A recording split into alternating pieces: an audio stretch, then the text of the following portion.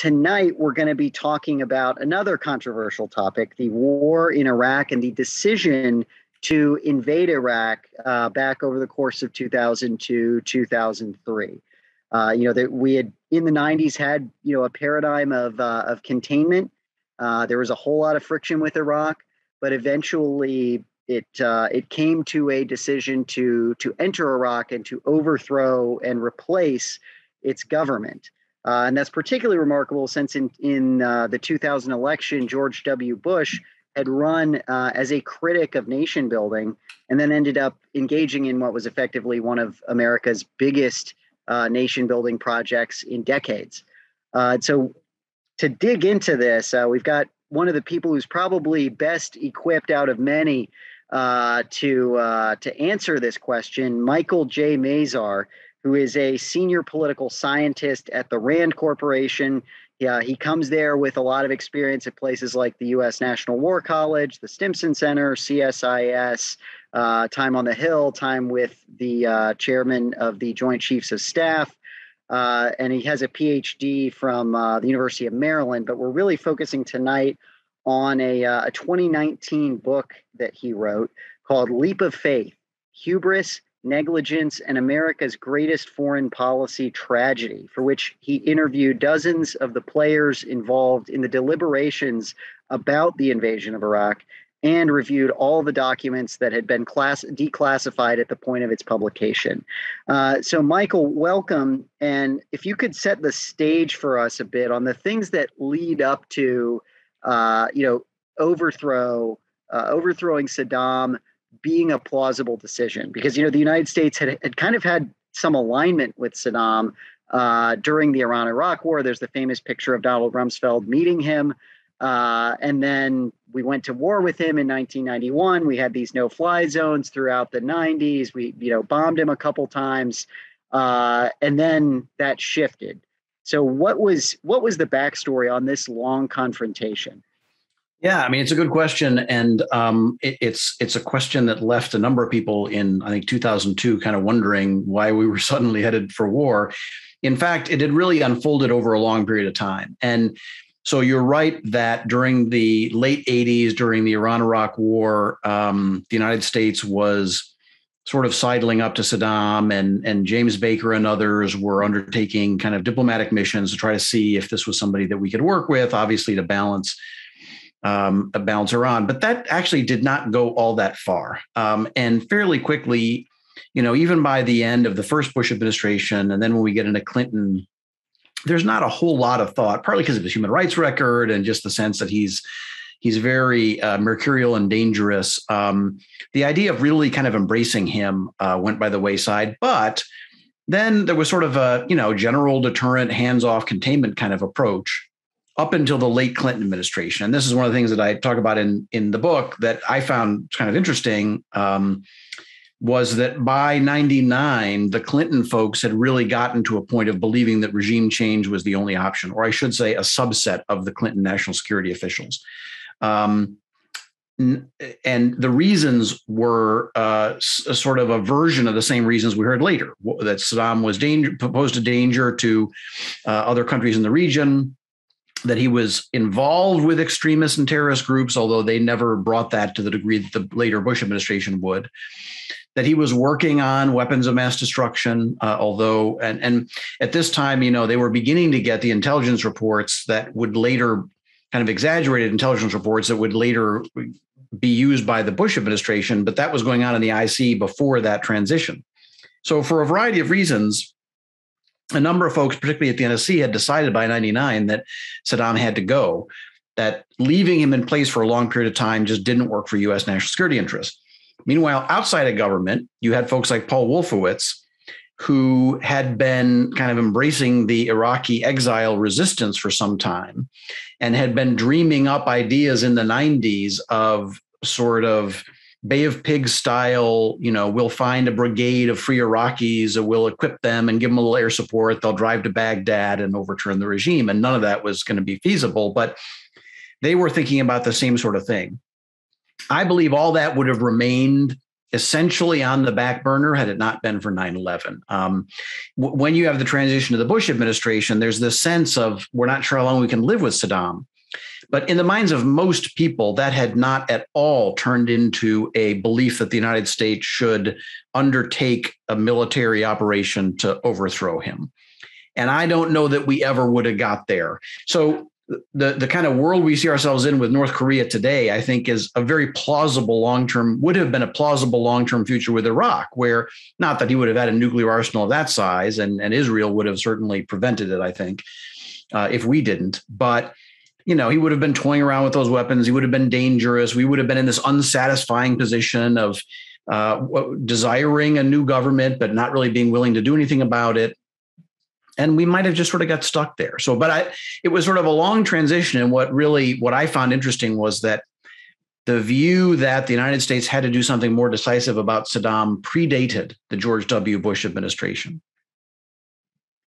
Yeah, and so uh, take us into a little bit more of that shift around uh, 9/11. You know, because because uh, part of it you say, okay, like yes, you know, there's this mass casualty terrorist attack originating in the Middle East or the Greater Middle East. Uh, you know, needless to say, our threat perception around the Middle East is going to go up. Mm-hmm. But at the same time, you know, a lot of folks looking back say Saddam is this secular dictator uh, what does he have to do with with Al Qaeda? Like, why why was it that decision makers at the time saw a a saw 9/11 as an impetus to act in Iraq? Yeah, it's a great question, um, and there's a number of reasons. I mean, one partial answer to your question is there was only a certain number of national security officials that saw it that way. Um, although folks like Colin Powell and Condoleezza Rice eventually sort of get dragged along by this and and in fact go along with it in ways that um, in retrospect uh, maybe they shouldn't have, they were not the prime movers of it. And if the two of them, for example, had been in charge of U.S. foreign policy at the time without any other voices, I don't think you would have had a U.S. invasion of Iraq. But in, in folks like Cheney, uh, Wolfowitz, Doug Feith, a variety of other folks in DOD, folks in Cheney's office, obviously Scooter Libby, um, and other voices in the Republican national security community, you had folks who almost immediately, and as we know, I mean, the notes have come out that uh, Rumsfeld too was jotting down notes at like 2.30 in the afternoon of 9-11 saying you know starting to talk about saddam hussein Within hours of the attack, they're beginning to talk about him. First of all, because they suspected him. Obviously, that turned out to be not the case. And they were told that day it was probably not the case. They had this established idea that Saddam was somebody we couldn't live with. There were notions floating around, and this is where the intel piece is really kind of gets corrupted by outside information. On the WMD piece, the intelligence community was telling them some pretty worrying things. And um, you know, even uh, a, a, variety of sort of longtime foreign service officers and others that I spoke to said, look, I was looking at the intelligence and it scared me too. It wasn't that they were completely blowing it out of proportion. The intelligence on WMDs was mistaken, but it actually said sort of a version, except for Cheney, of what they said it did.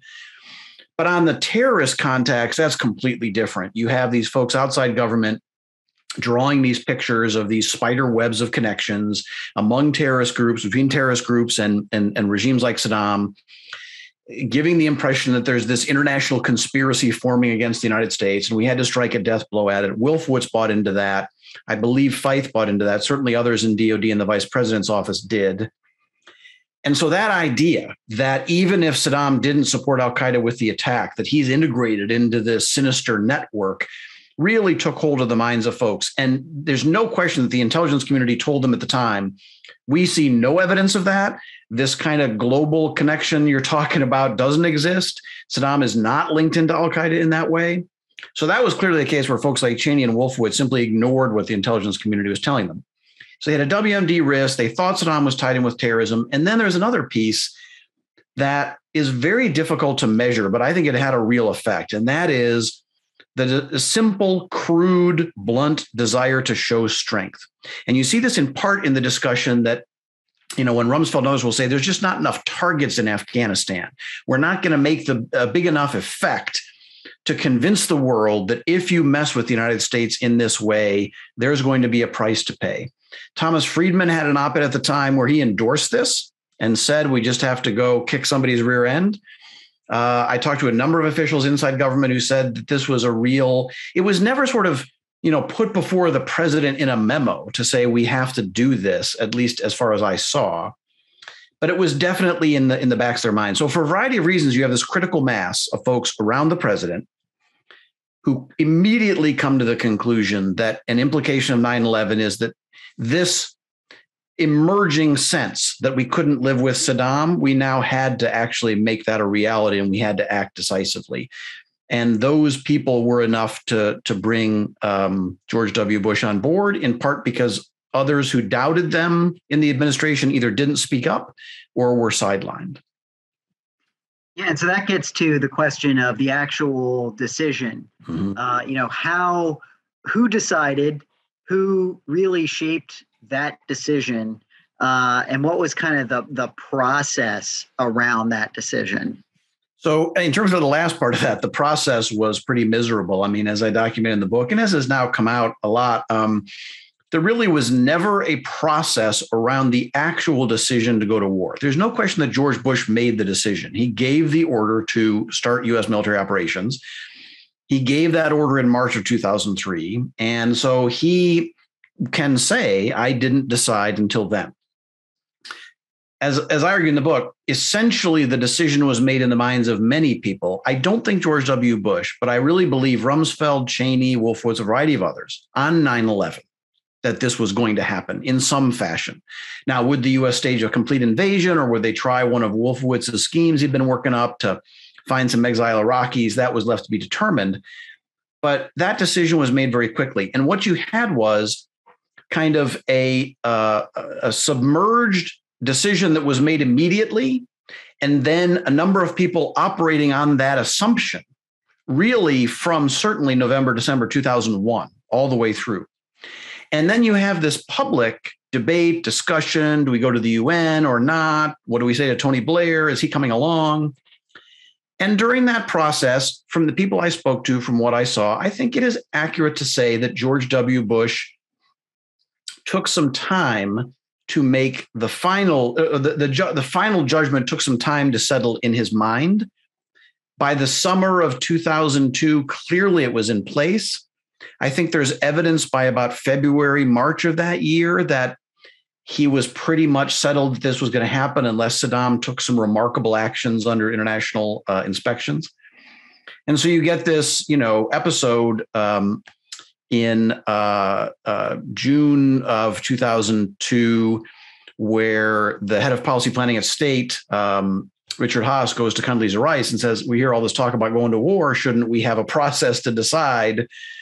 And she says, You know what? Just don't waste your breath. That decision's been made. And that's in the spring of 2002. And then, of course, there's a huge public discussion afterwards of whether we're still going to war. So it's confused, it's ad hoc, it emerges. And one of the real problems with that, and this is why I ultimately describe this as a case of negligent decision making, um, is that as a result, you do not have the kind of really focused, intense assessment of the potential risks and costs of this war and the steps needed to mitigate those and the decisions we needed to make until really the very last minute or not even then. And so that partly results in the famous, infamous lack of phase four planning, post war planning.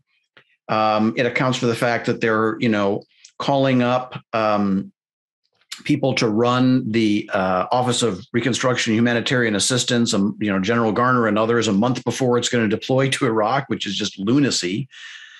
Um, so it's a decision that was made, in my view. It was a decision that was sort of made immediately by a handful of people.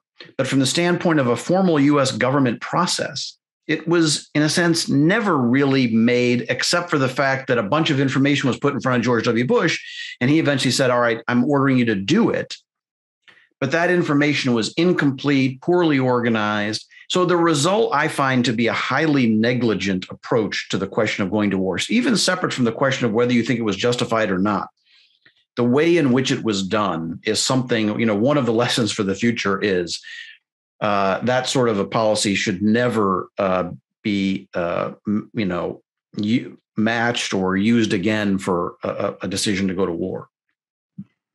And, and you mentioned, you know, that the that Bush, you know, fairly early in 2002 had been thinking, uh, you know, we're doing this unless Saddam does something different. How long do you think that off ramp was there, where Saddam kind of had a choice? Because remember, there was the ultimatum at the at the yeah. very end, like 24 hours or something. Well, and that was clearly just for show. I mean, you know what's was kind of funny, and this is you know a lot of folks told me this, and this is actually present in memos that have been declassified. It's kind of interesting that in both the Rumsfeld site and the memos or the work that was declassified for a time, and then I think pulled down from the book site of Doug Feith's book, there's a lot of sort of um, uh, self-condemning stuff that they that they uh, declassified. But there's stuff in the documents where they were afraid that Saddam was going to take the off ramp. The advocates of war believed that they could never trust Saddam, whether he was under international inspections or not. And again, I think to some extent they believed that this was something the United States had to do for geopolitical credibility purposes and they were afraid that this was going to happen. Uh, when was that off ramp no longer feasible? Um, you know, uh, it's in terms of timing. I think he had it until fairly late. I mean, even in like February of 2003, if he had placed a phone call to you know the leaders of of Great Britain, France, Japan, I don't know a few others, and said, "Look, all right, I'm taking it seriously now whatever went before and called in the IAEA inspection teams and said, here's the head of my military. I'm giving them the order to give whatever you want. And suddenly, all the news stories were Saddam capitulated. IAEA says they have perfect access. Um, they're getting no restraints at all. Leaders of multiple countries say, okay, America, you had the effect you wanted. Saddam is climbing down. Uh, he's even agreed to cuts in his military forces, whatever at that point, I think it would have been hard for the U.S. to go to war. I think Saddam had it within his power until very late to defuse this. The problem is that's not Saddam, right? I mean, that, that his nature was never going to do something like that, and and partly because of his uh, belligerence, um, his cruelty, his arrogance, and also partly because of his fear. And as we know, you know, in the 90s, he did decide to get rid of essentially all of his WMD, but he decided not to publicize it because he was afraid if he did, that he would show weakness in regard to Iran. So for him to take an off ramp would have been essentially to abandon every aspect of the identity that he had tried to create for himself in Iraq for the prior, you know, couple of decades. And so I don't know that that was ever going to happen. So timing wise, it was available till late. In terms of a practical option that he was really going to choose, I, I, don't know that it was ever there.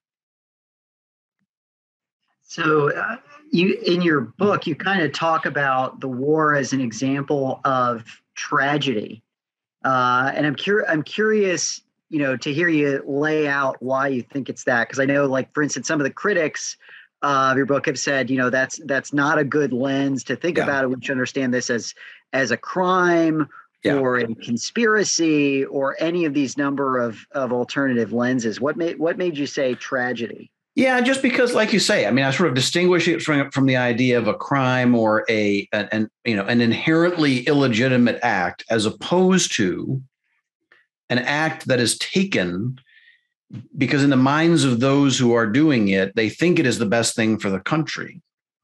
But partly because of their own characteristics, uh, you know, it's it's destined to achieve something terrible. Um, and I and I really I still cling to that view. I mean, you know, I think a comparison would be even just in the last few days as we're looking at this Ukraine situation unfold. I don't know that anybody thinks the Biden administration wants war or that it wants to tempt Russian aggression through weakness.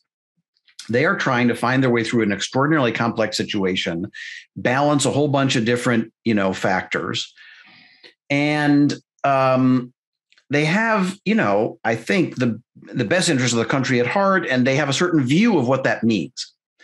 So the same thing was true of George W. Bush and a lot of his senior officials. Now, in the book, I'm extremely critical of a number of them, uh, particularly Rumsfeld including Cheney, but also including Condoleezza Rice, who I think didn't do her job as national security advisor during that period. And I make a strong argument at the end that this is a case of um, you know, what you can call a version of criminal negligence. So in that sense, yeah, it's people can be prosecuted for that. I guess it rarely happens, but so it's very negligent. But I think I really think it's very important to see these things as the uh, see these things see times when the United States wages unnecessary war not as the actions of stupid people, criminal people, uh, illegitimate or you know malign individuals, um, evildoers, because very few of these senior officials are that way, and they weren't viewed that way before they went to war. Lyndon Johnson wasn't viewed that way in his domestic program, so you know why it would apply on Vietnam, I'm not sure. So I just think it is really important if we want to build stronger barriers against waging unnecessary war to see the causes for what they are because i think if you start blaming if you start attributing it to individuals you know george w bush was stupid dick cheney was a criminal let's get them out. We'll get some other people in and we won't have bad wars anymore. Well that's not going to work because the united states through administrations of different flavor you know different degrees of interventionist impulses different levels of aggressive whatever. You know tragedies like vietnam tragedies like afghanistan and iraq continue to happen. And so i think it's much more important to focus on the political and structural context in which these decisions are made so that future decision makers of whatever kind um, ideally are forced in various ways to take the, these kind of decisions much more uh, seriously, to, to run them through a tougher gauntlet. But last thing I will say about this is something that's really important to remember about Iraq, which has been true of a lot of wars we end up not liking. This was a war that had majority by polling, majority support from the American people at the time it was waged. George W. Bush did not go around Congress. He went to Congress and got significant majorities voting to approve this war. This was a war that most major papers editorialized in favor of, including the Washington Post, New York Times. Many major columnists wrote articles in favor of. This was at the time it happened. And you know, I don't know if some folks listening will remember this. I just, I remember just very distinctly through a lot of 2002 thinking, what are we doing? This makes no sense. But the general environment in the country, and, I, and not just because there's a blob, but because when the country is attacked, there's going to be a certain kind of environment. The environment in the country and the national security community was such that, you know, if you had doubts, you eventually began to doubt yourself and say, well, they must know something I don't because of all these smart people who are presumably talking to the folks. I wasn't working at the Pentagon at the time, so I didn't see any classified information. I didn't see the planning. I assume these reporters were talking to the people doing the planning, getting ready for the war, who had access to the intelligence. You could see the public reports on the, what the intelligence community was saying. I figured they must know something that made this make more sense than it seemed like from the outside.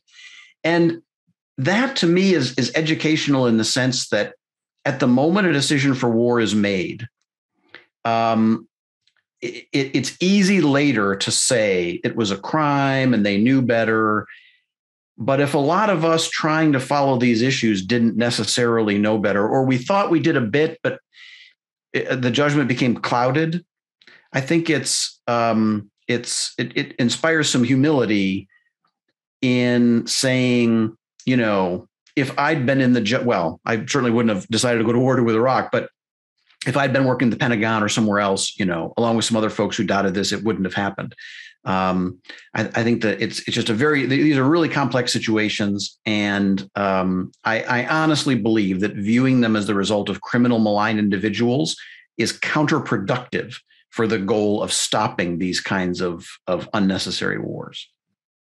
Well, going to uh, you know some of those lessons for the future, and I'm curious what uh, what lessons you think future policymakers could should take from this. I mean, one, you know, we could talk at the systemic level about like, hey, what should the process be? Yeah. But if you somewhere in the system sitting there saying, this doesn't make sense to me Yeah. Uh, and it seems like doing the right process on this and not thinking about it the right way. What do you do? Yeah. So a couple things. Number one, I think one lesson of it is that the role of Congress is critical. Um, it is the constitutional check on uh, a handful of individuals in the executive branch. Kind of, you know, um, the problem here again is, uh, as was the case then, these decisions will often be made when there is some uh, general perception of a threat to the country, and that's going to affect Congress as well. And an example that I, I, found interesting to watch in the last few months has been the the debate about U.S. Taiwan uh, commitments, right? And although there hasn't been a sort of general vote, um, there's the beginning of some movement in Congress to, in one case, pre-authorize the use of force by a future American president, right? If this happens, and I just think that one lesson of the Iraq case was that Congress did not do its job, even if it was going to eventually approve this war. The level of oversight undertaken on the intelligence that was used, on the war planning, on the, the risk management of this um, was just completely inadequate.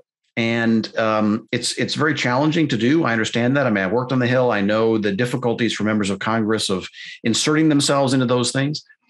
But I think that's one clear lesson: is that in future cases, as many members of Congress as possible should interpret their role um, secondarily to worry about the politics of how to, they have to position themselves, and primarily in terms of their obligation to the country to serve as a as a as a check on the decision.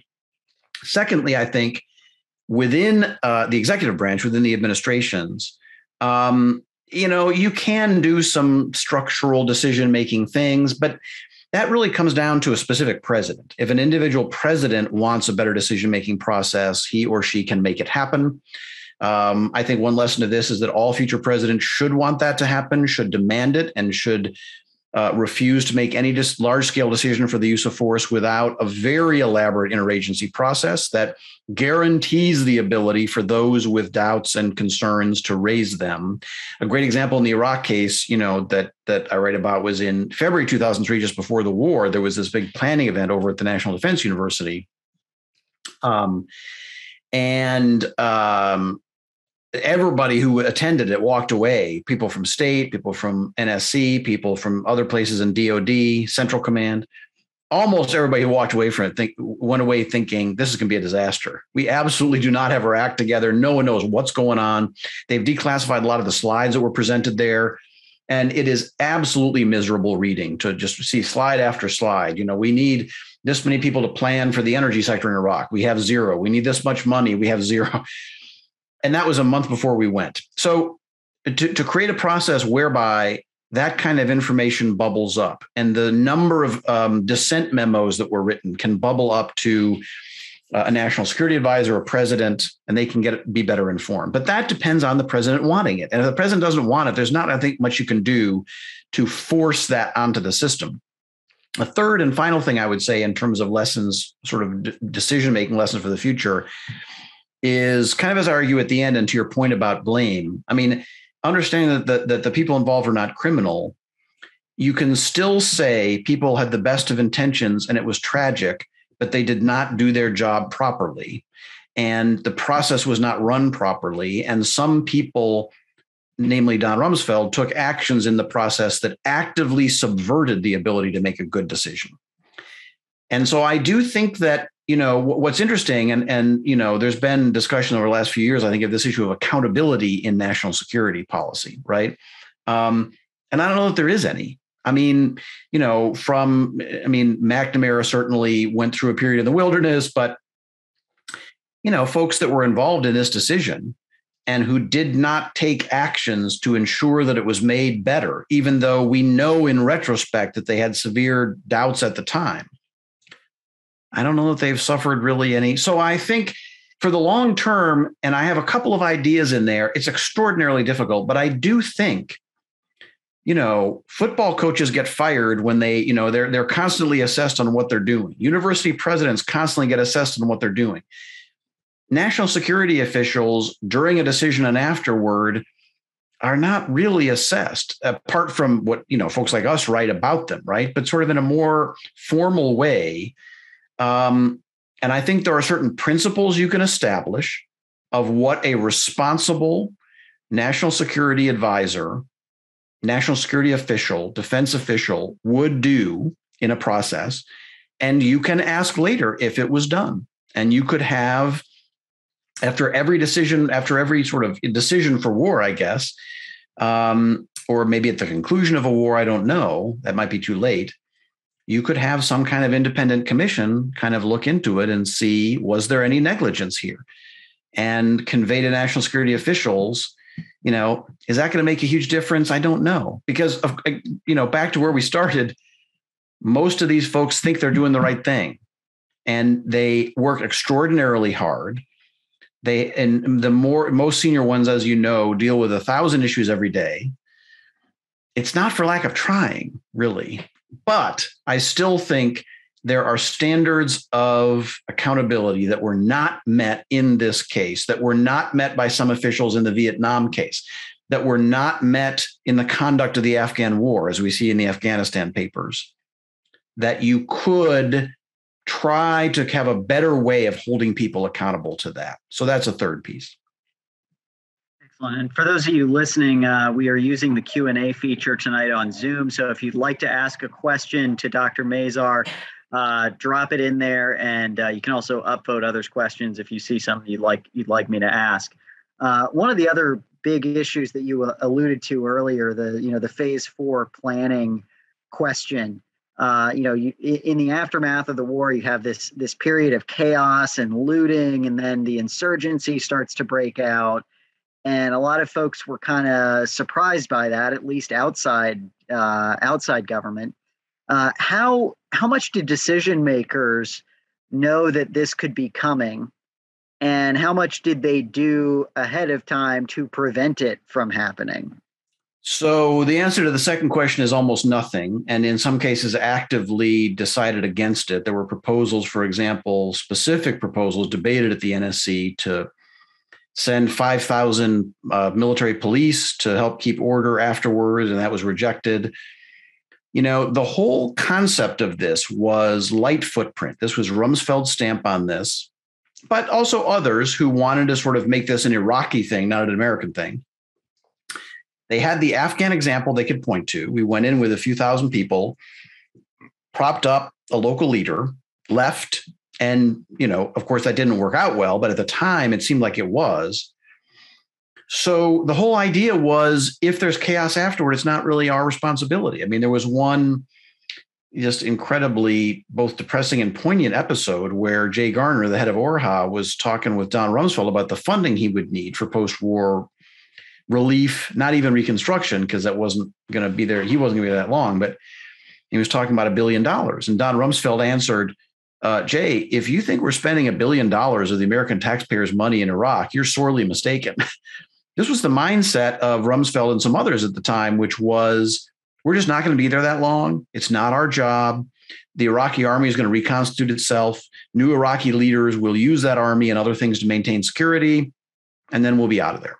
So there were absolutely warnings, and there's one especially powerful memo that was done by a Marine colonel that very specifically said every experience we have in post intervention societies says you are fairly quickly going to have chaos, looting, violence.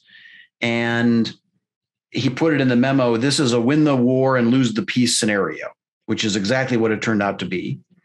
And I don't know exactly how high. We know that memo went at least to Doug Feith. And the understanding is it went to Rumsfeld, but he did nothing about it, had no discussions about it.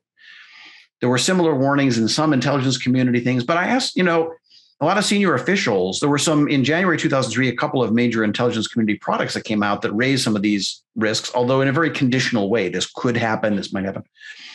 And I asked some senior officials, uh, very senior folks, um, you know, did you read these? What impression did they make? And they said, yeah, I read them. And that could happen, but it also might not. And so, what am I to make of that? People are telling me things could happen all the time. Meanwhile, they're getting other advice from advocates of the war saying, don't worry about it. There's Iraqis will come out of the woodwork to run their society, things will calm down. So, I think it's uh, a case of making some really bad assumptions, both about what was going to happen afterward and what the U.S. role was going to be, that drove that you know utter lack of preparedness for post-war planning. And, and a question that I pursued and and really never was able to get an answer to because uh, as far as I was able to, I never talked to anybody that Rumsfeld said this to directly. One of my questions was always, did Rumsfeld intentionally sabotage the post-war planning in order to be sure because just like George Bush, this is a guy who in February 2003 gave a speech called Beyond Nation Building, where it's it's just mind-boggling. This speech basically lays out everything we were about to spend 10 years doing in Iraq and says the United States should never do those things. And this is a month away from launching this invasion. How could you possibly believe that unless you had convinced yourself that as defense secretary, you were going to be able to create the conditions whereby US forces were just going to leave very quickly. And if it fell into chaos, it wasn't going to be our problem. And one way to assure that outcome is if you uh, find every way of putting a barrier in the way of post war planning so that we don't start doing things very quickly and get drawn into it. Now, that kind of begs the question of if there's violence in a country you just invaded, you can't just run away and let people die. There's no way you're going to do that. And given everything George Bush was saying publicly about caring about the Iraqi people, there was no way he was going to let that happen. So if Rumsfeld thought that, he was a fool. But I've never been able to determine if he really had that kind of motive. But there was a lot of work in the DoD seemingly to kind of actively subvert that post-war planning. So was there an understanding, you know, at any level, like was was the ball dropped somewhere where uh, either people planned to stay longer than DoD prepared for, or uh, had bad assumptions about what was going to happen after the war, and therefore thought that uh, you know they didn't that we wouldn't need to stay or that we wouldn't stay uh, or was it that you know civilian leadership had this vision and didn't pass it along to the military to execute? So a little bit all the above. I think the dominant thing though was that the real advocates, planners, drivers of the war uh, just thought we wouldn't be there that long. All the planning was around that. You know, there was very specific orders given to military units to begin turning around and leaving Iraq fairly quickly. And if you remember, that's you know, they had, first of all, they had off ramps for a number of units that might have gone in and to sort of make sure that the US forces there ended up being as minimal as possible, which is not what you're going to do if you think you're going to have to provide order because, you know, there were estimates in advance, including my RAND colleague, um, Jim Dobbins did a study saying you're going to need half a million people to keep order in this country. And that was uh, eventually brought to the president. Um, but, you know, at that point, the answer was sort of, well, we're not doing that. So, you know, I don't know really what to do about it. Um, so the assumption was we were going to be there as minimally and for as short a period of time as possible. And those who, and, and, and where that changes really uh, is not until Bremer gets there. And there's just an amazing episode in his memoir where he's got the job, he's preparing for the job, and he's he's sort of driving to work. And there's a discussion of handover of authority to the Iraqis or something. And he writes that he almost drew, drove off the George Washington Parkway because, in his mind, to achieve the president's goals, he's thinking, "I'm going there to take over for a long period of time. We're gonna we're gonna dig in and be there for a while. That's what we have to do to achieve democratization, if that's what the president wants." So when he comes in he upsets the apple cart in a way that some of the other this is one of the reasons i think why he gets alienated from uh, rumsfeld some of those who just wanted to keep getting out uh, thought that he kind of changed their their policy uh, but i think all that was really doing was taking seriously the implications of invading a country that you can't very well invade it and then abandon it to civil war which is what would have happened and those who thought we could were just smoking something. So, one of the questions we have uh, from the audience is about the relationship of all this to the war in Afghanistan. Do you think mm-hmm. developments in Afghanistan altered how the U.S. approached Iraq? Uh, did it change how we thought about the strategy or the objective? Uh, and then, of course, how did Iraq shape Afghanistan? What was the reciprocal? Yeah, uh, it's, it's interesting. There's a really kind of like uh, pinballing analogy thing that goes on there. And the first one is the Afghan analogy powers the Iraq war. Um, there was a time shortly after we're in Afghanistan where we don't remember it now, but people were talking about okay, the Northern Alliance hasn't won yet. We haven't prevailed. We're getting into a uh, some kind of a quagmire here, um, and then suddenly we won, and the Taliban was thrown out, and um, Hamid Karzai was put in place, and U.S. forces were down to kind of a minimum. There was a lot of international role. There was a UN mandate. And it seemed like a brilliant success in that sense, in the sense of relatively low cost, achieving some of the basic objectives, although we can debate about whether a larger US military presence initially would have had more immediate effect than Al Qaeda. But that was the lesson.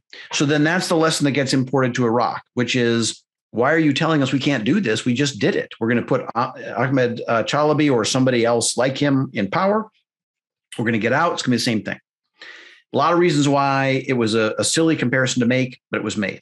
But then later on, so Iraq's going back. So and and the Iraq War clearly causes a reduction in resources given to Afghanistan, um, and delayed the U.S. getting ahead of the growing insurgency there. I don't know how much difference that really would have made in retrospect. Um, but then in Iraq, things go bad, and we get the surge, right? And so more troops, new counterinsurgency strategy, new leadership, combined with McChrystal's hunting of uh, a key extremist, uh, that sort of networked analysis approach, but primarily with the Sunni awakening and the the uh, the fact that a lot of Iraqis turned against Al Qaeda and the real extremists there. You have this seeming success of what they call the surge. So then that becomes the analogy for the Afghan surge um, under the Obama administration. We're going to send some troops. And that was not an exact analogy because I think it was much more tightly tied to we're going to surge and then we're going to begin to get out, which didn't happen. But but that then becomes an analogy where we say, well, if we did it in Iraq and it reduced violence levels, we can do it in Afghanistan, and at least politically we'll be better off. So there is this kind of back and forth uh, where each of those wars influences the perception of the other. Another question uh, from Thomas Weeks, who asks Do you think the United States will make similar mistakes and end up attacking Iran or perhaps supporting an Israeli strike? And I guess, you know, I, as I was, was thinking about this today as another, uh, you know, you could see a bit of an analogy in right now, you know, with the the JCPOA paradigm seemingly kind of falling apart, and I can see you know possibilities of folks in you know in a couple months about how the credibility of the the international community and the you know international legal regime uh, is at stake that we're losing our intelligence inspectors are losing their access there or uh, are these just very uh, very different so I think they're very different in a whole bunch of ways. I mean, primarily, I just don't see the Biden administration interested. I don't. I don't know there may be people in the Biden administration who are kind of the Paul Wolfowitz of you know perception of Iran in this case, but I really doubt it. I just don't think there's advocates of war. I think they want to achieve U.S. goals without going to war. Um, I was very struck and very impressed with the comments of uh, Secretary of Defense Austin the last few days about the Taiwan and Ukraine contingencies, saying our primary goal is to to resolve these diplomatically uh, over you know over the period of time, um, the current crisis in Ukraine and the Taiwan situation. So my sense is, in a lot of the major cases where the U.S. might go to war, at least the current administration um, has a strong priority to avoid those wars, uh, which is to be applauded. Um, so that's one reason I see it as different. Another reason is Iran is not the target that Iraq was um, for a whole bunch of reasons um, that you know things went more quickly than many people assumed in 2003 but it was pretty widely understood that Saddam's military and regime probably could not survive all that long under really significant US military pressure. And I don't know anybody for for geographic and operational reasons for political reasons ideological reasons. I just think Iran is a totally different totally different thing. So I don't uh, thankfully I don't see any uh, things on the horizon that look like Iraq in the sense that key members of a U.S. administration are kind of thirsting to make conflict happen. That may have been a little bit true during the last administration. I don't know for sure, but I don't see it as true now. So another set of questions we had, we had a, a few folks asking about uh, about Bremer's role in particular.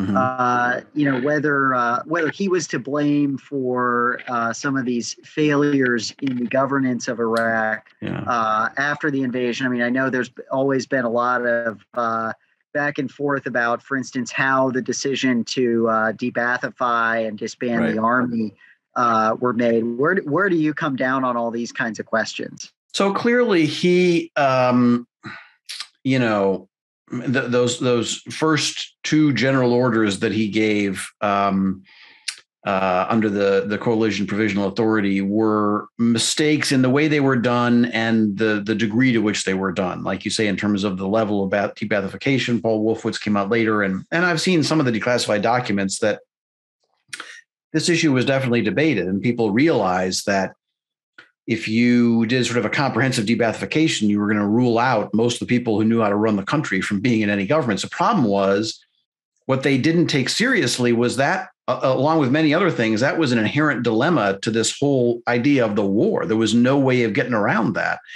There's no way to invade a country run by a totalitarian single party regime and not face the problem that either you're going to leave a bunch of those criminals in place or you're going to strip the government down to the ground and have to rebuild it from scratch. And they practiced complete avoidance about that and sort of thought that there was some sweet spot they could hit of, you know, we won't get rid of teachers if they were in the Ba'ath party, but so it was always going to be a problem. Uh, both, and then the disbanding of the army. Bremer didn't think those things through well enough. Um, they were done too quickly. The argument about the army was that it had already disbanded itself, it had fragmented. I've talked to a number of U.S. military officers who were very uh, substantially involved in the outreach efforts to the Iraqi army, to commanders. And they are convinced that there was a lot more that could have been done to bring pieces of it back and that Bremer's order was was completely uh, uh, premature. So yeah, they were both destructive. Um, and I talked to a variety of folks that said that uh, his leadership style was simply too peremptory. I mean, part of the challenge is he's always made the argument that when you're going to go over and, and sort of run a military occupation, you have to be an autocrat. And I suppose there's a degree to which that's true, but the problem is um, if the decisions you're making are ones that have tremendous consequences and that need really deep uh, sort of analysis to be done right, then you're just going to screw things up by being too uh, peremptory in the way you approach things. So his leadership style was problematic. Those initial decisions were problematic, but he's not responsible as an individual for the collapse of order. Um, the complete lack of seriousness in the undertaking from the beginning is responsible for that. And that can be laid at the feet of, I mean, George W. Bush, certainly, people like Condi Rice, people like Colin Powell, who, although he had very significant doubts and met one time with the president, he did not, I think it is fair to say, use the full force of his office to try to ensure that, I mean, partly because he was respecting his lane. He's not the SecDef. Rumsfeld's the SecDef. Powell has been chairman. He knows the distinction. As Secretary of State, it is not his job. At a certain point, when the United States is about to launch a tragic war, you might come out of that lane and say, well, fine, I'm going to violate some of those principles, but it needs to be done. So I think that this failure, uh, Bremer certainly has a share of it but to imagine that it could have been dramatically better had he not made those decisions, I just don't think that's the case. Question we've got uh, is if war had somehow been avoided, uh, you know, maybe we hadn't, you know, made some of these choices. What would or should have been our plan of action, our policy toward Iraq, you know, post uh, post two thousand one? Uh, you know, would they would the relationship have have turned south even further? I mean, I know you had said it might have might end up looking like North Korea does today. Well, just in the sense of sort of a permanent standoff, I guess, where they're doing some things we don't like.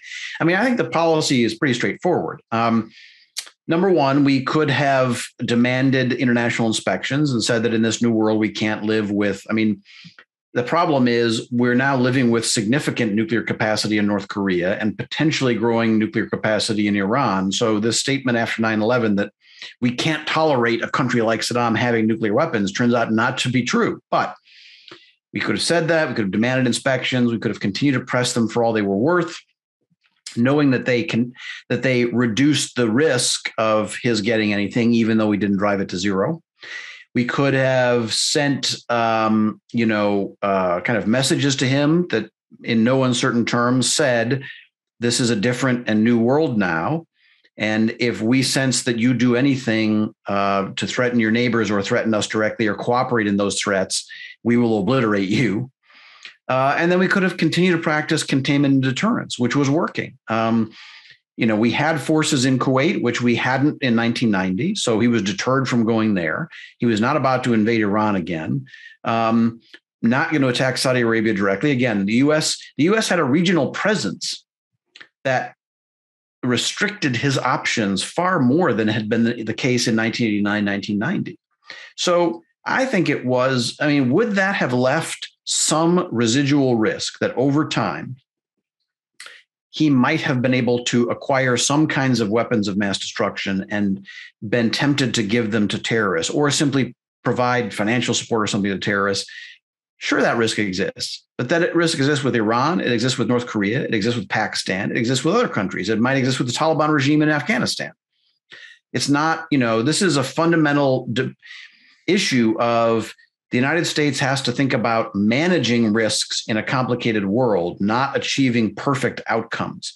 And with Iraq, we set the bar so high in the degree of perfection we were demanding that I think it just it completely uh, threw our conception of the strategic challenge out of whack. So in other words, I think I think there was a very clear and obvious alternative option available that would have met U.S. interests, avoided the tragedy of that 10 year war, the trillions of dollars spent, the tens of thousands of Iraqi lives lost, the thousands of Americans' lives lost, and the enormous uh, insult to American credibility that that took place around the world. So that's you know a tragic war that could have been avoided while still meeting U.S. national security interests.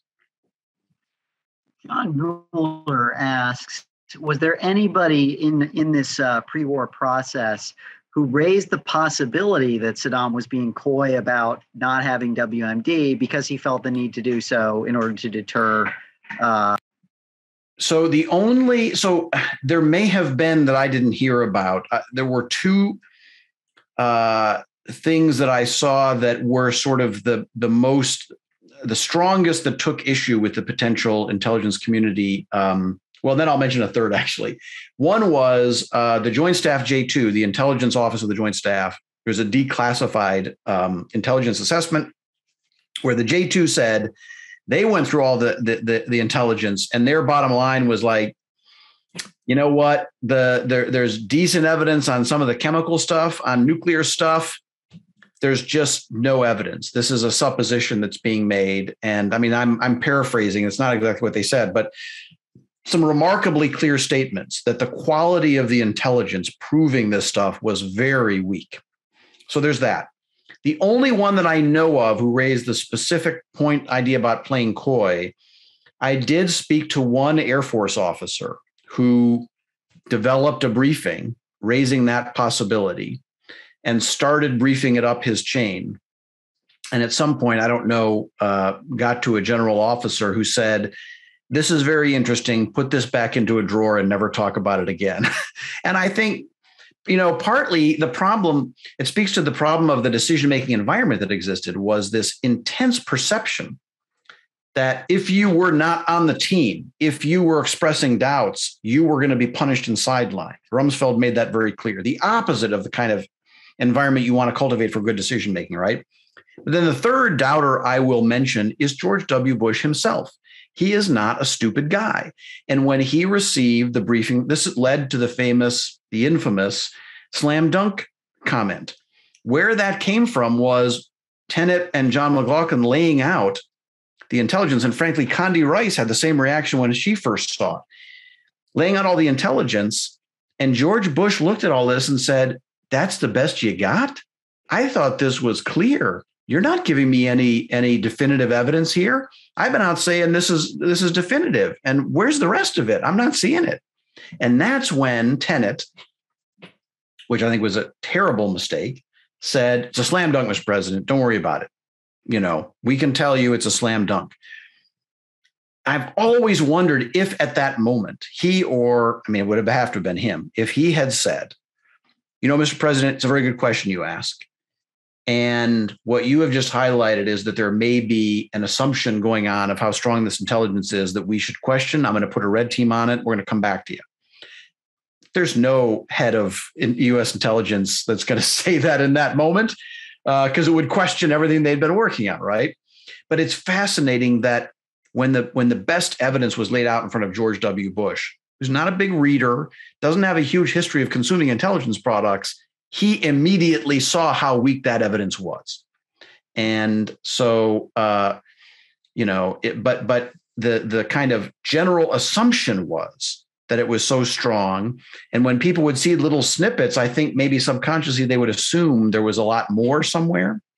But uh, yeah, as far as I only came across one person who explicitly raised the idea that Saddam was trying to make the world think he had nukes and he really didn't. So, all the mention of intelligence, I think, you know, invites questions about that. Uh, that domain's uh, role in this, you know, because uh, there's been uh, uh, obviously a lot of conversation about the role intelligence played in it. I know I've seen some talk that uh, the the IC had kind of failed in the opposite direction in the past right. and said yes. they don't have any kind of serious WMD program. And then we get in after 91 and realize, oh, uh, yeah. we, he actually kind of did. Uh, and so there might have been some some questioning or a tendency in the IC to push the estimates upward in in uh, in confidence and aggressive whether he had it. Yeah. Uh, you know, and there have also been questions about intelligence. You know that there may have been annals. You know, you always hear like the Office of Special plans right. mentioned, you know, and talk of what was raw intelligence getting to top level people. Right. Uh, you know, how do, how do you see the the IC yeah. So on, uh, I mean, both of those are good questions. On the first question, there's no question that the IC was burned by the experience of um, the first Gulf War when they went in afterwards. And some of the reporting that came out said they discovered Saddam was maybe a year away from um, uh, uh, material for a nuclear weapon. And the intelligence community had not been saying that. So they, um, you know, just there were, it was definitely in some of their minds we don't want to get caught that way again. I don't think it ever led. I mean, and I've interviewed a bunch, interviewed a bunch of people from the intelligence community, and like everybody else in the story, they're professionals who are trying to do their job as best they can. And I don't know that many, if any, would have consciously exaggerated things, but they certainly were not going to underplay the risk based on that earlier experience. In terms of the Office of Special Plans and raw intelligence, um, it was definitely a phenomenon. It happened through the vice president's office as well as through OSD. Um, you eventually get Colin Powell before his speech to the UN, having to spend days up in New York with his staff, slashing through the draft speech that Scooter Libby had ri- written to cut out all of the bad intelligence, you know, being helped by the CIA to call this stuff out.